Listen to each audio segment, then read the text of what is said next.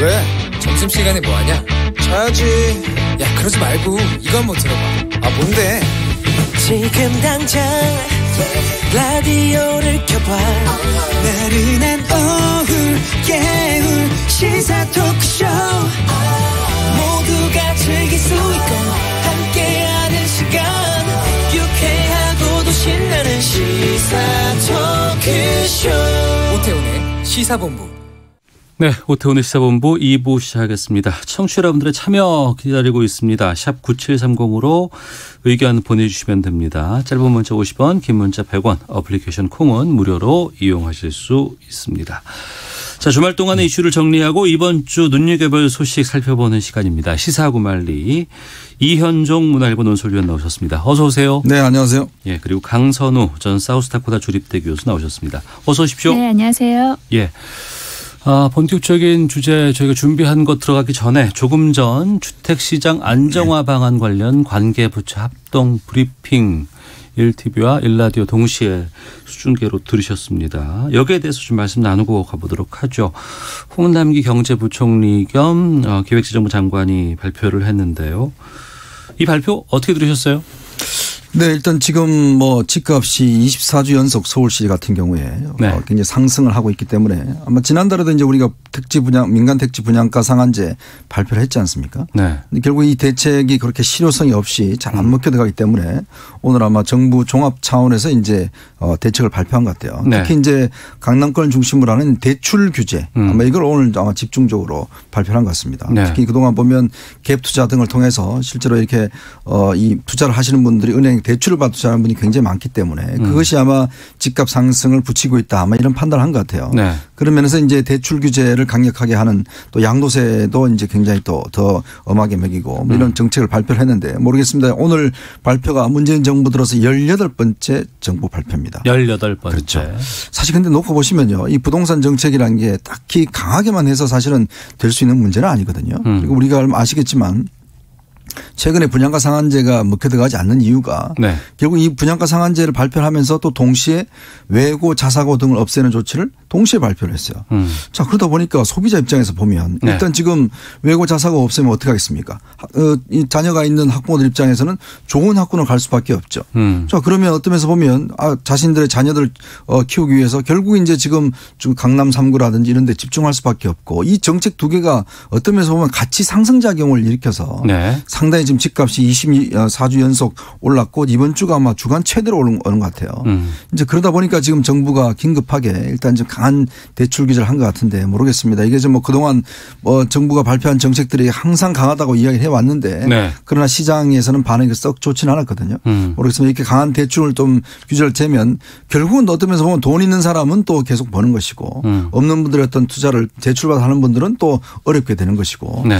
그런 면에서 좀 더 지켜봐야 될 것 같습니다. 예. 시가 9억 원 초과 주택 LTV 40에서 20%로 적용을 하고 종부세 세율 상향 조정하고 상한제 지역을 서울 경기 등으로 대폭 확대하고 어, 내일부터 지정 효력 발생한다고 하는데 강한 건 맞아요? 어떻게 보세요? 그냥 대충 우리가 지금 심층적으로 지금 분석할 수 있는 뭐 시간은 아니기 때문에 네. 이게 어차피 이제 이 대출에 대해서는 뭐 기존보다 사실은 지난번 대출 규제를 한번 시행한 적이 있지 않습니까? 예, 예. 이제 그보다 더 강한 조치를 하는 거거든요. 음. 그러니까 그렇게 하면 거의 이제 예를 들어서 지금 집값이 보면요. 평균적으로 뭐 강남 같은 경우는 뭐 이미 10억 평당 1억이 넘어가는 있지만 마용성이나 다른 지역도 지금 벌써 10억 이상이 되는 주택들이 많아요. 그러면 예를 들어서 이렇게 돼버리면 이제 서울 시내에서 만약에 대출을 받아서 집을 사기에는 굉장히 어려운 국면으로 가는 게 아닌가. 이제 그게 어쩌면 정부 차원에 볼 때는 그런 식의 대출이 집값 상승을 부추겠다고 보는 것이고 오늘 대책을 보면 이제 그걸 강력하게 통제를 하겠다. 특히 갭 투자 같은 경우에 그걸 통제하겠다는 것인데 모르겠습니다. 이것도 뭐 아무래도 집값이란 게 정부를 항상 앞서 나가기 때문에 네. 이또 시장의 반응을 좀 봐야 될 것 같습니다. 네. 강선우 교수께서는 이번 대책 어떻게 보셨어요? 어, 대책이 좀 효과를 실질적인 효과를 거둘 수 있는 마음으로 좀 지켜봐야 될 것 같습니다. 네. 큰 테마는 이제 투기 수요 차단을 하고 그리고 공급을 늘리겠다는 것이었던 것 같습니다. 같습니다. 그래서 대출 규제가 있었고 그리고 뭐 보유세라든지 양도세 관련해서 어떤 혜택을 좀 줄이는 그런 정책이 있었고요. 그리고 지금까지와는 조금 차별화되는다는 생각이 드는 게 어떤 규제를 내놓을 때마다 계속해서 그 틈새를 파고드는 그런 투기 음, 자본들이 많이 많이 있었거든요. 음. 그렇다면 이번에는 이제 불법이나 어떤 우회적인 방법으로 이제 주택을 그 주택 시장의 그 투기 세력을 원천 금지하겠다, 원천 차단하겠다 그런 좀 강력한 대책까지 나온 것 같고요. 그리고 마지막으로 이제 그 시장의 원리를 그대로 적용하는 이제 도시 내 주택 공급을 확대하겠다 그렇게 한 네 가지로 대책이 나온 것 같은데 어 앞서 17번의 어떤 부동산 대책에 비해서 강력한 건 맞는 것 같아요. 어. 규제도 더 많이 하는 것 같고요. 그리고 예. 어떤 그 투기 세력을 조금 원천적으로 차단해 보자는 그런 정부의 강력한 의지도 보이는데 근데 이 부동산 문제가 사실 그 인간의 본능과 맞물린 문제지 않습니까? 의식주 음. 중 주의 문제인데 예. 이게 이런 이성적인 그런 정책으로만 모든 것이 좀 잘 풀리기에는 어떤 그 근본적인 한계를 가지고 있는 거는 분명히 맞습니다. 음. 그렇다면은 그런 문제일수록 좀 종합적으로 이렇게 대책이 좀 발표돼야지 어, 우리 국민들에게 실질적으로 와닿는 그런 효과는 더 클 것 같아요. 예를 네. 들면 이런 그 아파트 관련된 부동산 관련된 대책을 발표하면서 저는 교육부 장관이 나와서 교육 정책도 발표를 하고요. 그리고 여성가족부 장관이 나와가지고 어떤 가족 정책 그런 게 어떻게 연결이 될 수 있는지 그 궤를 어떻게 함께 할 수 있는지 행안부 장관 나와서 국가 균형 발전에 대해서도 이야기를 하고요. 그렇게 음. 해서 정말로 이게 미래 먹거리의 문제다. 정말 절실한 문제다. 인구 절벽과 또 직결되는 문제지 않습니까? 그렇게 해서 좀 더 큰 범위로 한 번 더 발표를 하거나 그런 게 있었으면 어땠을까 하는 그런 아쉬움은 조금 있습니다. 음, 알겠습니다. 저희가 이 브리핑 끝나자마자 바로 두 분과 이제 평가를 살짝 좀 해봤는데 구체적인 것들은 좀 꼼꼼히 좀 따져보고 저희가 좀 시간을 두고 차근차근히 좀 분석하는 시간 또 따로 갖도록 하겠습니다. 문화일보의 이현정 논설위원 또 강선우 전 사우스다코타 주립대 교수와 함께 시사구말리 저희가 준비한 내용들 살펴보도록 하겠습니다. 민주당이 패스트트랙 법안 처리 강행 의지 밝히면서 국회 전원 고조되고 있습니다. 선거법 4 플러스 1 협의체에서 합의가 아직 안 되고 있습니다. 그래서 지금 어, 국회 본회의 제대로 열리지 못하고 있는 상황인데 이인영 원내대표가 새로운 결단을 서두르지 않을 수 없다면서 이제 패스트트랙 법안 처리까지 시사한 상황입니다. 민주당이 좀 강경하게 나온 것 같은데 여기에 대한 배경은 어떻게 보시는지 이현정 네. 해설위원께서 말씀해 주시죠. 일단 이제 뭐 지난 시간에도 말씀드렸지만 일단 민주당이 지금 패스트트랙 법안을 통과시키려고 보니까 이게 어떤 면에서 보면 처음에 본인들이 상정했던 계획과 실제 이 패스트트랙 통과됐을 때 나타난 효과가 상당히 너무나 달랐던 거죠. 시뮬레이션 결과 보면. 음. 결국 지금 민주당 같은 경우 보면 이 선거법으로 통과될 경우에 네. 일단 지역구가 많이 줄어들고 그다음에 이제 이 자칫하면 예를 들어서 비례대표를 정말 한석도 문까지는 극단적으로 이제 그럴 수도 있는 가능성이 충분히 있는 것이고 또 지금 오늘 이해찬 대표도 이야기했지만 석패율 제 절대 안 된다고 이야기를 했는데 그러면 그때 통과할 때 왜 그런 가만히 있었는지 모르겠습니다. 자 그런 걸 등등 비춰봐서 어떤 당리 당략으로 봤을 때는 아 이럴 경우는 결국 불리하다 오히려 어 정의당이나 이런 데 끌려갈 수가 있다라는 내부적인 비판들 있다 보니까 결국 수정안을 냈지 않습니까? 예. 250에 플러스 50을 냈고 또 거기서도 이제 캡이라는 걸 참 저는 모르겠습니다. 이게 선거법이라는 게 정말 더 어려워지는데 캡이라는 걸 내세워서 30석은 연동형을 하고 20석은 이제 기존 정당 어, 득표율대로 하고 뭐 이런 걸 또 제안을 했거든요. 그럴 경우는 이제 민주당의 의석 손실이 크게 적다. 그리고 이제 예를 들어서 군소 정당들도 지금보다는 크게 달라지지 않는다. 이런 네. 판단을 한 것 같아요. 근데 이렇게 되다 보니까 당초 그러면 4 플러스 1에서 합의했던 정신이 완전히 깨져버린 거 아닙니까? 음. 그 당들 같은 경우는 자기들 지금 뭔가 더 획득하려고 들어왔는데 사실 보니까 뭐 크게 지금 남는 게 없다 보니까 결국 이제 민주당은 아 그러면 뭐 이거 원안 그냥 표결하자. 음. 그냥 표결하면 이거 부결될 게 다 뻔하거든요. 네. 그러니까 지금 한국당이 아우 그럼 나 우리도 표결하겠다 이렇게 지금 나오는 것이고 제가 볼 땐 정말 민주당의 정 이거 어떤 전략 실패가 막판에 결국은 이게 지금 혼란스러운 상황으로 가고 있지 않는가. 사실 네. 제가 누누이 말씀드렸지만 이 패스트트랙 이저 선거법은요 결코 집권 여당으로서 좋은 선거법이 아닙니다. 음. 즉 대통령제 하에서 어떤 면에서 보면 자신들의 어떤 여당으로서 지도 포기할 수밖에 없는 그런 법이기 때문에 저는 뒤늦게 이 지금 여당이 그걸 깨닫고 지금 뭔가 수습을 하려고 하는데 지금 사실은 기존에 약속을 한 게 있기 때문에 쉽지 않아서 오늘 한번 본회의는 이제 어려운 상황으로 가는 것 같습니다. 네. 강선우 교수께서는요? 음, 이 선거제에는 두 가지 측면이 있는 것 같아요. 첫 번째는 이제 그 비례성이랑 대표성을 높이자. 그러니까 그 중에서도 특히 사표를 좀 줄여보자. 그런 큰 대의가 있었던 것 같고요. 그래서 그 큰 대의 관련해서는 자유한국당을 제외한 모든 정당이 다 동의를 했죠. 그래서 거기를 향해서 나가는 데 있어서 근데 현실을 무시할 수 있는 건 아니지 않습니까? 그 정당이랑 어쨌든 그 지지를 받아서 표를 받아야 하는 것인데 그래서 그 현실을 바탕을 해서 이제 타협을 해가는 과정에서 협상을 해가는 과정 에서 이견이 있었고 큰 틀에는 합의를 했지만 250대 50이라는 근데 그 세세한 어떤 디테일에 있어서 이견이 있었고 그래서 이제 거기에서 4 플러스 1 공조가 조금 삐걱대기 시작한 것 같습니다. 주말을 거치면서 굉장히 좀 크게 방향이 틀어진 것 같은데요. 네.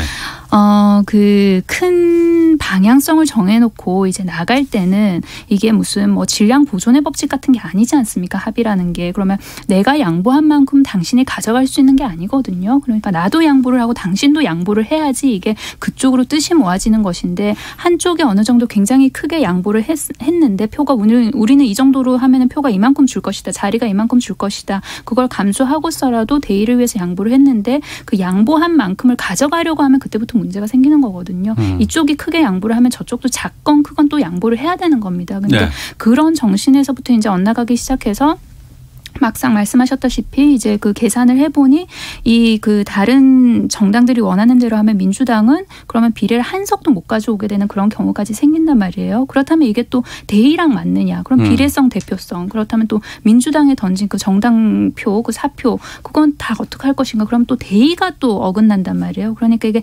가치랑 현실이랑 이게 지금 혼란이 되면서 그러니까 4 플러스 1 1 합의체에서 뭔가 서로 서로 모두가 양보해서 하나로 협의하지 못하면 그렇다면 원한 대로 가겠다. 지금 현재 상태가 그건 것 같습니다. 네. 강선우 교수께서 지금 민주당 총선기획단에 계시는데 네. 이 지금 일련의 사태에 대해서는 총선기획단에서는 어떤 입장인 거예요? 아, 총선기획단이 이제 총선의 어떤 방향이나 아니면 기치 예. 같은 걸 정하는데요. 아직 뭔가 활발한 움직임이나 구체적인 안을 못 내놓고 있는 게 이게 지금 선거법이 뭔가 그 통과가 돼야지 어. 거기에 맞춰서 이제 전략이나 그런 걸 짤 거 아닙니까? 예. 그래서 물론 물 밑에서는 여러 가지 시나리오를 놓고서는 기획을 하고는 있지만 아직까지 그 선거법이 통과되지 않 았기 때문에 이제 거기에 대해서 그게 통과가 되고 나면 구체적인 어떤 뭐 정책이든 기획이든 이런 안들을 이제 띄울 걸로 보입니다. 음. 일부에서 정의당 여양국 원내대변인 연결해서 네, 얘기를 좀 들어봤습니다. 예. 그랬더니 아, 윤수아 원내대표가 이제 방송 유튜브에서 얘기를 했던 그 이번 21대 국회에서만 30 석 캡 씌우는 거에 네. 대해서는 좀 생각해볼 여지가 있는 것 같다라고 지금 얘기는 나오고 있어서 네. 일정 정도의 합의안이 나올 수 있지 않을까 뭐 이런 예측 정도에 되는 지금 상황인 것 같아요. 네.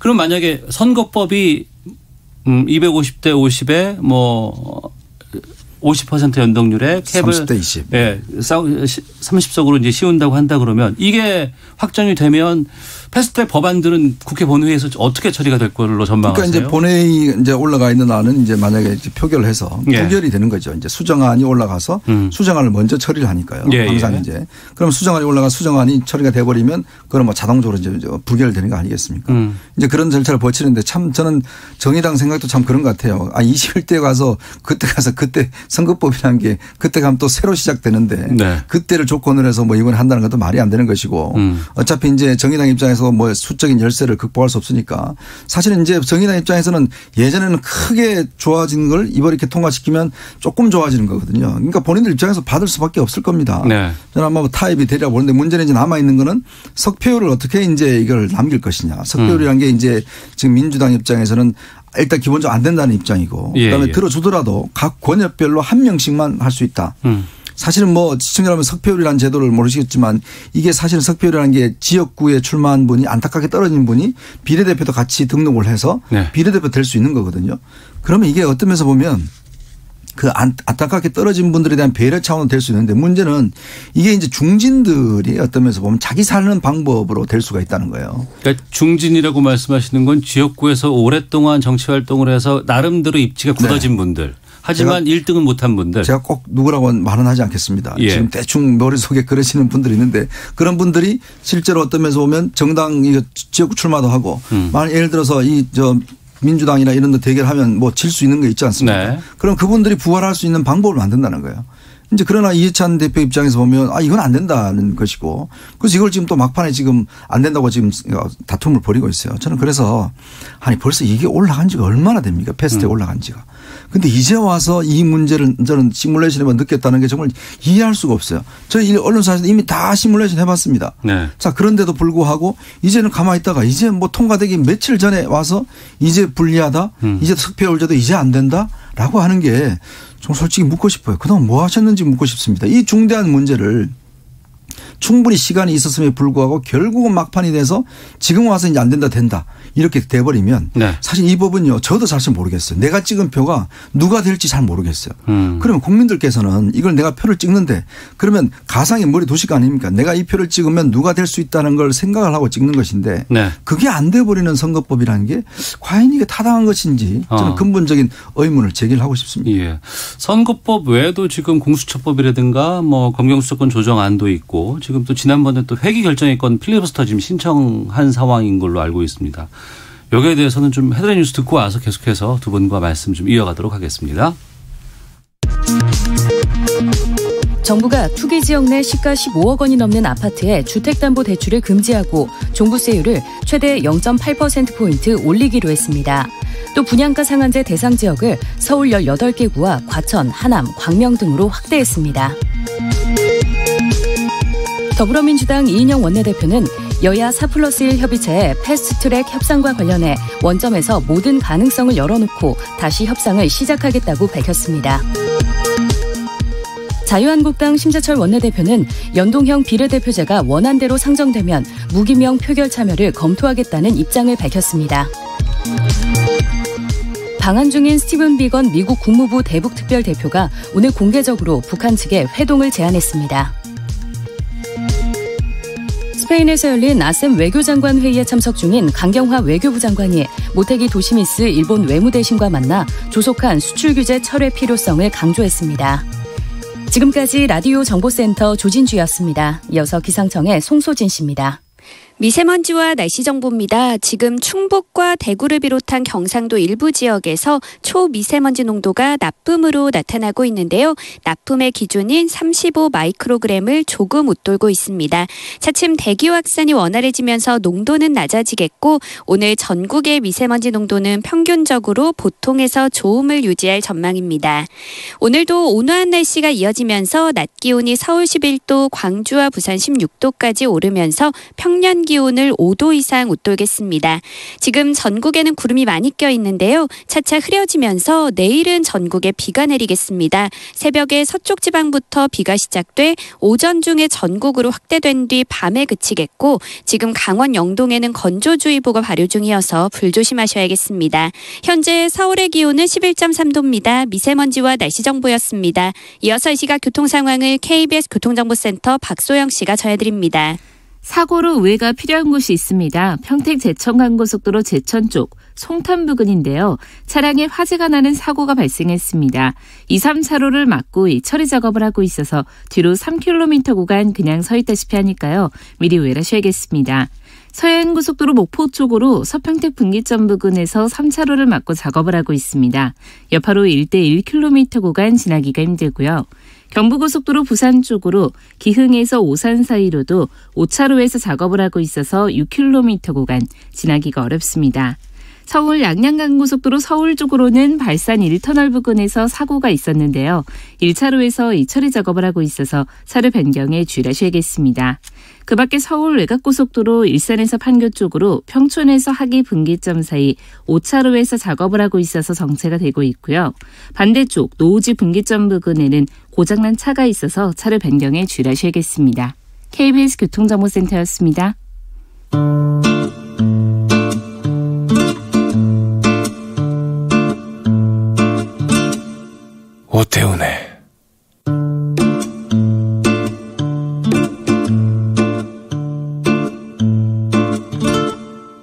시사본부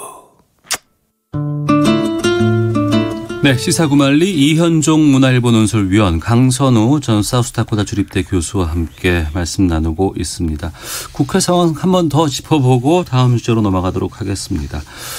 선거법이 어찌됐건 뭐 통과돼서 단일안으로 올라온다고 했을 경우에 앞서서 이제 수정안이 먼저 처리가 되고 뭐 원하는 이제 부결일로 이제 끝난다고 말씀해 주셨습니다. 선거법 처리 이후에는 지금 공수처법, 검경수사권 조정안이 패스트트랙에 지금 올려진 상황이고 유치원 3법도 있네요. 그러고 보니까. 근데 지금 회기가 열려야 되는데 회기 결정의 건 때문에 지금 곤욕을 치르고 있습니다. 자유한국당이 이 회기 결정의 건을 관련해서 필리버스터를 신청한다고 하는데 대상이 되는 것인지 궁금하기도 하고요. 어떻게 보세요? 황선우 교수께서 말씀해 주시죠. 대상이 안 된다는 규정이 없기 때문에 지금 음. 필리버스터를 신청을 하겠다는 거거든요. 네. 그런데 그 필리버스터의 그 본래 취지, 그러니까 뭔가 입법이 미비돼 있을 때는 그 법의 볼- 원래 취지가 무엇이었냐, 이 법이 왜 만들어졌는지를 생각을 해보면 답은 쉽게 나올 것 같습니다. 할 음. 것인지 말 것인지에 관해서는 그러니까 필리버스터는 이견이 있을 때 무제한 토론을 하라는 거잖아요. 법안에 관련돼서 내용에 관해서. 네. 근데 이 회기를 정하는 게 뭐 법안의 어떤 뭐 내용 이나 뭐 굉장히 토론의 대상이나 이런 게 되는 대상으로 보기엔 저는 어렵다고 보거든요. 그래서 음. 자유한국당이 이제 그 필리버스터를 회기 관련해서 필리버스터를 하겠다고 이야기를 한 게 이 지금 현재 4 플러스 1 공조가 뭔가 좀 서로 이견이 굉장히 표출되기 전의 일이었어요. 그래서 지금 현재 자유한국당은 만약에 선거법이 원한 그대로 올라가고 그리고 무기명으로 자율투표가 보장이 된다면 본인들이 이제 본회의에 들어오겠다는 거거든요. 그래서 네. 이거는 선거법 관련해서 어떻게 될지 좀 지켜봐야 될 것 같고요. 그리고 선거법만 있는 게 아니죠. 지금 검찰 개혁 관련된 법도 있고 그리고 우리 민생의 문제인 그런 어, 유치원 3법도 있는 것이고요. 그래서 이게 지금 빨리빨리 처리가 되고 일을 해야 됩니다. 국회가 일단. 그리고 앞서 말씀하셨다시피 국회가 지금까지 뭐 했냐 선거법 관련해서 음. 그 비판에서는 저는 어느 정당도 어느 누구 도 자유로울 수 없다고 생각을 하고요. 그리고 석패율제를 도입하자고 한 그 본래 취지가 어떤 지역주의나 그런 지역 구도를 좀 타파를 해보자는 그런 취지에서 나온 것이거든요. 그래서 네. 안타깝게 떨어진 그 2등을 이제 비례로 그렇게 구제를 해주자는 그런 제도지 않습니까? 근데 이게 잘못 이용이 되면 오히려 지역 구도를 조금 더 그 굳히는 그런 음. 역효과도 발생을 할 수가 있고요. 그리고 그 인물의 투표를 한 것인데 그걸 비례로 돌린다? 그러면 비례 대표의 본- 본래 취지와 그리고 인물에 투표하는 어떤 그런 그 투표권을 제한하는 오히려 그런 효과도 부작용도 나올 수 있기 때문에 이 석패율 제도는 지금 좀 도입하기에는 굉장히 대한민국 정치 지형이랑 안 맞는 게 아닌가라는 그런 생각이 듭니다. 예. 총선 예비자 등록 신청일이 내일입니다. 17일인데요. 지금 이번 주 국회 일정 오늘 어차피 지금 국회 본회의는 열리기 힘든 상황인 것 같고 어, 한 분 한 분씩 좀 이번 주 국회 전망 어떻게 지금 보고 계신지에 대해서 힘도 쉽지 않을 것 같은데 그래도 좀 해주시죠. 예. 제가 참 이거 예언자도 아니라서 이거 뭐한 시간 앞을 지금 예측하기 못하는데 사실 예. 오늘 지금 자유한국당이 원한 투표하자고 하리라고 어떻게 또 생각을 했어요. 지금 예, 오늘 예. 한국당이 오늘 들고 나온 게 뭐냐면 지금 패스트트랙가 있는 원안 225대 75를 저 상정해서 자, 통과시키자는 거예요. 네. 통과시키자는 게 이제 표, 표결하자는 거죠. 이제 그렇게 또 이제 주장하고 나오니까 아니 그동안 그렇게 패스트트랙 반대를 하다가 또 오늘은 그렇게 주장하고 나온 거는 일단 이게 지금 타협안이 어느 정도 이제 4 플러스 만들어지니까 이 원안에 대해서는 어제 사실은 이제 그 민주당에서 아니 그러면 지금 이4 플러스 원 이게 타협안 뭐 도저히 정의당이 있는데 못 받겠다면 아예 원- 원안대로 가겠다라고 하니까 네. 정의당은 또 그걸 또 반격적이다로 이야기를 하고 있어요. 아니 처음에 자기들이 다 합의해서 올린 안인데 그걸 표결하자고 그러니까 또 이걸 또 반격적이라고 이야기하고 있는 참 이런 모습 보니까 저도 판단이 참 안 됩니다. 음. 그리고 오늘 이게 만약 올려가면 일단 폐기돼 버릴 수가 있거든요. 예. 왜냐하면 지금 민주당이나 자유한국당 대다수 의원들은 이 안을 다 반대하기 때문에 부결돼 버리면 그동안 정말 몸싸움까지 했던 안 패스트랙이 아무런 소득 없이 그냥 끝나버리는 겁니다. 음. 결국 그러면 이제 선거법을 다시 또 타협을 해야 되는 거거든요. 예. 그럴 경우는 자유한국당으로서는 유리한 측면이 있는 거죠. 그래서 좀 전에 황교안 대표도 우리가 이겼다라고 이제 오늘 지금 국회 앞에 집회에서도 이야기한 게 이제 그런 이유가 있는 겁니다. 음. 자 그러면서 볼 때는 저는 아마 오늘이 상당히 이제 고비가 될 것 같은데 좀 오늘 그 이 저 이인영 원내대표가 이야기한 대로 조금 긴 호흡을 가겠다고 이야기를 했거든요. 네. 원칙대로 가겠다 이야기를 한게 음. 지금 이거 당장 통과하면 후폭풍이 너무 크고 또 후과가 너무 큽니다. 그리고 지금 아마 조금 현실을 본 것 같아요. 저는 아마 지금 이렇게 오늘은 뭐 국회를 넘어가지만 시간이 좀 걸리지 않을까. 그래서 좀 장기화 국면으로 갈 수도 저는 있을 거로 봅니다. 네. 앞서 정의당 여영국 의원 같은 경우 연말까지라도 좀 볼 수 있지 않을까 네, 뭐 이렇게 네. 같이 말씀하시는 것 같은데 여기에 대해서 강 교수께서 말씀해 주시죠. 가장 이상적인 거는 합의를 해서 신속하게 처리를 하는 것일 텐데 그게 네. 좀 현실적으로 어렵지 않습니까? 그렇다면 이제 그 12월 뭐 언제 날짜를 특정하기보다 어쨌든 합의를 끝까지 해보고 그게 시간이 좀 걸리더라도 그 다음에 이제 처리를 하는 게 바람직하겠죠. 근데 앞서서 그 말씀 주신 것 중에 이제 황교안 대표 그 특히 그 자유한국당 쪽에서 이제 선거법 관련된 그 협상을 굉장히 비판하고 있지 않습니까 지금 그리고 본인들이 그 원하는 대로 이겼다고 이제 이야기를 하고 있는데 저는 그런 말을 할 자격이 있는가라는 생각이 듭니다. 어쨌든 그 본인들은 자유한국당은 본인들이 그 협상에서 계속 배제됐다고 했는데 그 누구도 배제하지 않았거든요. 계속해서 협상하자고 이야기했습니다. 근데 음. 본인들이 스스로를 배제시킨 결과예요. 그러면 계속 바깥에 앉아 있고 장애 집회하고 어 그 삭발도 하고 뭐 여러 가지 그런 그 투쟁을 계속해서 이어오고 협상은 하지 않았는데 네. 이제 와서 어떤 그 결과적으로 결과적으로 이제 4 플러스 1 안에서 이견이 표출이 되고 그걸로 인해서 조금 뭔가 더디게 갈 것 같으니까 그거를 이제 본인들이 어떤 공으로 돌릴 수 있는가 그리고 그4 플러스 1 합의를 하려고 했던 그 노력을 비판할 수 있는가 저는 거기에 대해서는 회의적입니다. 알겠습니다. 자, 시사구말리 어, 다음 주제 짚어보도록 하겠습니다. 그 BTS 관련해서 계약 관련 분쟁이 있다라는 JTBC의 보도가 있었습니다. 여기에 대해서 BTS의 소속사인 빅히트가 사과를 요구를 했고 JTBC의 별다른 대응이 없어서 팬들이 불매 운동에 나섰다고 하는데 강선희 교수께서 지금 어떻게 된 일인지 좀 정리를 좀 해서 말씀해 주세요. 어, JTBC가 일전에 보도를 했어요. 그 예. 방탄소년단이 소속돼 있는 그 소속사가 빅히트 엔터테인먼트지 않습니까? 그래서 이 둘 사이에 수익 배분 문제로 뭔가 갈등을 빚고 있는 듯한 보도를 했거든요. 근데 음. 이제 빅히트 쪽에서 입장을 밝혔습니다. 그 방- 방탄소년단 쪽에서 뭐 수익 분배나 아니면 재계약을 앞두고 로펌에 문의를 한 적이 있지 네. 이게 뭔가 뭐 법정 소송으로 된다거나 갈등을 빚는다거나 그런 것이 아니다. 음. 그래서 로펌에서 자문을 구한 다음에 뭐그 재계약 관련해서 다시 이제 협상을 하려고 했던 그런 움직임을 이제 JTBC가 마치 갈등설 내지는 뭐 법적으로 뭔가 다툼이 있는 것까지 이제 비하를 시켰다 그렇게 음. 이야기를 했거든요. 그리고 그 내용뿐만이 아니라 이제 취재 과정에 대해서도 빅히트 쪽이 문제를 제기를 했어요. 그 본인들의 사옥을 JTBC 쪽에서 무단 침해를 했다. 어. 그래서 이제 사과를 요구를 했는데 JTBC가 사과를 하지 않았죠. 그 방탄소년단의 팬덤이 어마어마합니다. 아미들이. 그래서 이 그 방탄소년단 팬 쪽에 팬 입장에서 보면은 있지도 않은 갈등설을 이제 만들어낸 것처럼 보이는 거잖아요. JTBC가 지금 현재까지 상황을 보면 예. 그래서 이제 그 방탄소년단 팬들이 JTBC에 광고하는 기업 리스트를 올리고 음. 여기 불매 운동을 하겠다. 그리고 JTBC에서 지금 뭐 방영 예정하고 있는 그런 드라마도 보지 않겠다. 그래서 음. 지금 불매 운동을 벌이고 있는 그런 상황입니다. 네. BTS의 팬들이 상당하셔요. 어마어마하기도 하고 저희 시사본부에서도. 예, BTS에 대해서는 여러 번 지금 다루기도 했었는데 JTBC 보도가 잘못됐다 그러면은 뭐 정정 보도를 한다거나 뭐 하면 되는 건데 그게 아니고 지금 그런 지금 전혀 진행 상황이 지금 없는 거 아니겠습니까? 네. 그러니까 팬들이 나선 것 같은데 어떻게 보셨어요? 그러니까 지금 BTS가 원래 빅히트하고 작년에 7년 계약을 했거든요. 그러니까 네. 워낙 이제 BTS가 전 세계적으로 벌어들이는 수입이 많기 때문에 아마 이제 뭐 우리가 뭐 세계적인 또 우리나라 기업 이제 또이 어, 그룹이고 하기 때문에 뭐 이런 분에 관심이 있는 건 사실 같은데 모르겠습니다. 일단 지금 JTBC가 과연 보도가 이게 지금 저 빅히트의 이야기 들었다면 일단 이 워낙 이제 부모들 같은 경우에 이게 이제 수익 자체가 많으니까 이게 음. 분배가 어떻게 되는지 네. 이 정도를 알아봤다는 수준을 가지고 이거는 뭔가 분쟁이 있다라는 음. 걸로 이제 기사를 했어요. 물론 뭐 JTBC도 나머지 근거가 있었으니까 보도를 했겠죠. 네. 근데 이제 만약에 이 빅히트 쪽에서 입장이 설명이 사실이라고 한다면 음. 예를 들어서 뭐 다른 그룹 같이 이제 뭐 탈퇴하겠다든지 뭐 이런 게 아니라 도대체 그 분배가 어떤 식으로 되는지 부모들이 궁금해서 로펌 쪽에 알아봤는데 그거를 뭔가 어떤 이 분- 이 계약 관계가 좀 불- 불리하게 돼서 새롭게 한다라는 그런 쪽으로 했다라면 그거는 뭐 JTBC가 문제가 있겠죠. 모르겠습니다. 근데 JTBC가 아마 후속 보도를 낼 거로 보여지는데 네. 만약 그게 아니라면 물론 어. 뭐 내부적으로 이제 어, BTS에 대한 문제가 문제가 있는 거는 사실이겠죠.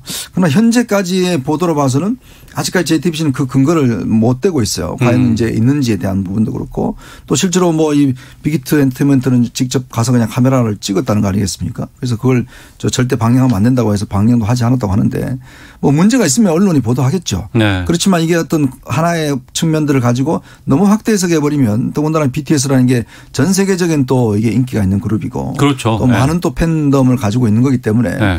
좀더 신중해야 되지 않을까라는 저는 솔직히 뭐 생각이 듭니다. 황선우 교수께서는요. 어, 저도 어떤 종류의 보도든 그 보도를 하기 전에 굉장히 신중해야 된다고 생각을 하고요. 그리고 음. 방탄소년단이 전 세계적으로 가지고 있는 대한민국에 대한 그런 이미지, 굉장히 긍정적인 이미지 이런 걸 생각을 할 때 뭔가 그 수익 문제, 돈 문제로 그러니까 본인들 어려울 때 계속해서 함께 했던 그런 소속사와 갈등을 빚고 있다 이런 이미지를 지금 그뭐 JTBC는 나름 근거가 있겠습니다만 만약에 그 근거가 빈약함에도 불구하고 그런 보도를 했다면 거기에 관련돼서는 책임을 져야 한다고 생각합니다. 알겠습니다. 이 소식 듣고 시사고 말리 마치도록 하겠습니다. 지금까지 이현종 문화일보 논설위원 강선우 전 사우스다코타 주립대 교수와 함께했습니다. 두 분 오늘 말씀 고맙습니다. 네, 네, 고맙습니다. 고맙습니다.